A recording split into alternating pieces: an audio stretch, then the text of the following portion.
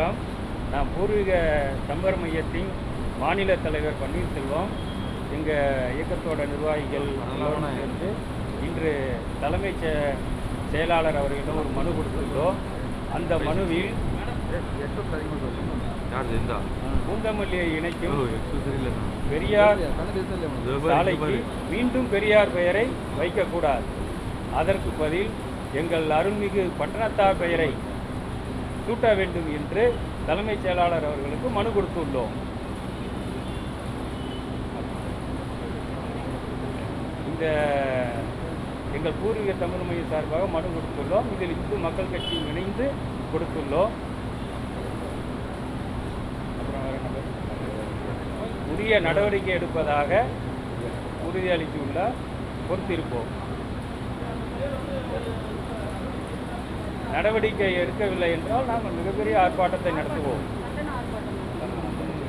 கண்டன ஆர்ப்பாட்டத்தை நடத்துவோம். எங்க பூர்வீக குடி தலைவர்களை தொடர்ந்து இந்த திராவிடர்கள் புறக்கணித்து வருகிறார்கள்.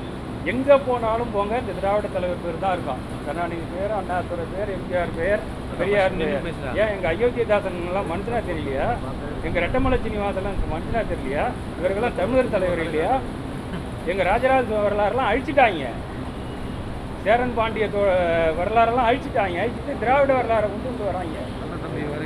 மன்னர்கள் ஆட்சி நடக்கும் போது பார்த்தா நம்மளுடைய பேருக்கு நிகரா வந்து ஒரு கோவில் கட்டணும் ஒரு அறக்கட்டளை கட்டணும் கட்டினாங்க. இப்ப எல்லாம் சமாதிகளா கட்டி வச்சுட்டு இருக்காங்க அந்த சமாதிகளுடைய பேரை கொண்டு வந்து தெரு தெருவா கொண்டு வந்து வைக்கிறது ரொம்ப ரொம்ப தவறான ஒரு.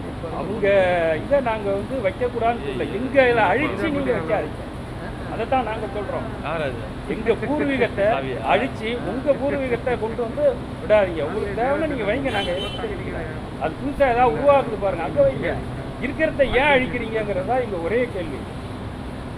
இது குறித்து நடவடிக்கை எடுக்கலைன்னா மிக விரைவில் கடுமையான போராட்டத்தை சந்திக்க தயாராக இருக்கிறோம். நன்றி வணக்கம்.